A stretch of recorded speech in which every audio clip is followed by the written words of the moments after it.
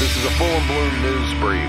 More info at fullinbloom.com. Legendary guitarist Ace Frehley recently spoke with Chris Shiflett. A link to the entire interview can be found in the description. On his drug use during the classic Kiss days, Ace said, I'll be totally honest. I'd have a couple of beers before the show, maybe a couple of lines of blow, but I didn't want to get wasted because I always had integrity and I always wanted to perform at my best. I'd save the heavy partying until after the show when we got back to the hotel because I didn't want to fuck up. And if you look at most of my concert footage over the years, I'm pretty spot on. Yeah, I'm a little sloppy, but you know, listen to Paul's rhythm work online. On the evolution of Kiss's makeup, he said, When I started out, it was just silver. Then I started using blue eyeshadow that made my eyes come out more. They popped a little more. But everybody's makeup changed a little through the years. Gene's did, Peter's did. I remember Paul, for a while, had two things on his eyes. I'm going to tell you something nobody knows, and Paul will not admit it. But when we were at the Daisy, that club where we were experimenting with our makeup, I mean, one night I came out with my whole face silver. We didn't know what the fuck we were going to do.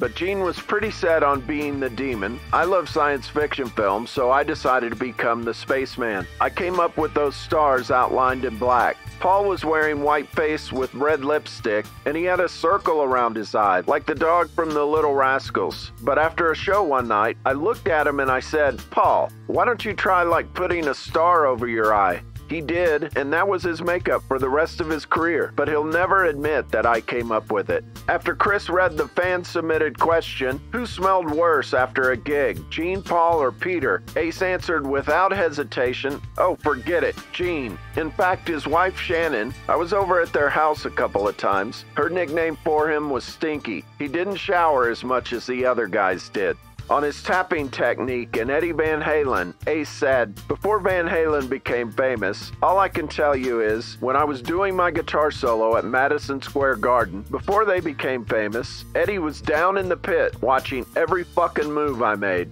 But I did the tapping with a pick. I didn't do it with my finger. As far as I remember, I think I just came up with it. Eddie probably got some ideas from me, just like I got ideas from other guitar players. But he perfected it. There's no way I could play some of the solos that he pulled off.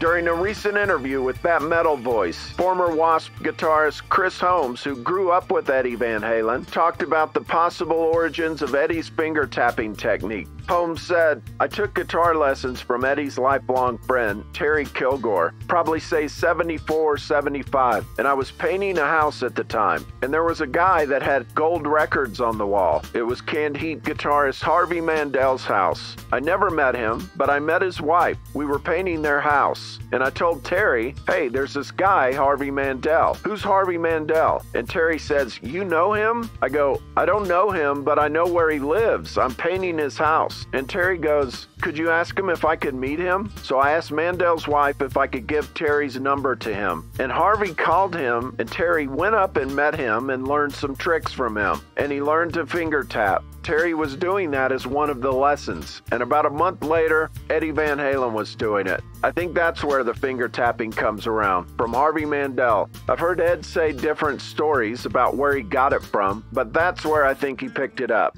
During an interview with Guitar World magazine, legendary guitarist Ritchie Blackmore echoed Holmes's comments, saying, The first person I saw doing that hammer on stuff was Harvey Mandel at the Whiskey A Go Go in 68. I thought, what the hell is he doing? It was so funny. Jim Morrison was carried out because he was shouting abuse at the band. Jimi Hendrix was there. We were all getting drunk. Then Harvey Mandel starts doing this stuff. Everybody was saying, What's he doing? Even the audience stopped dancing. Obviously, Eddie Van Halen must have picked up a few of those things. More news at fullinbloom.com.